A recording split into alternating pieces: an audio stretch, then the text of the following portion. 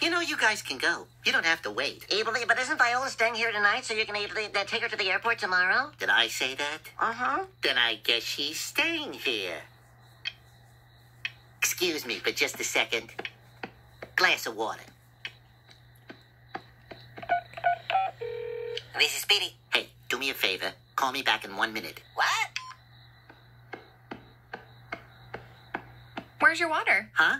Oh, we're out. It's Viola. Oh, hi, Viola. Viola? What's that? You're stuck at work and won't be home till after midnight? Oh, I see what's going on. You're pretending I'm some fictional person saying lines I'm not saying. I get it. okay, I'll let them know. yes, I- I'll tell them how disappointed you are that you didn't get to meet them. It's gonna snowball. It's gonna get out of control, man. It already has. Okay, Viola, thanks for calling. I mean, I expect this kind of thing from the duck, but not you, Bugs. That's not your area. Know your role. okay. I'm telling you, this is gonna end badly, man. I love you too. Oh, can I at least say hi to her?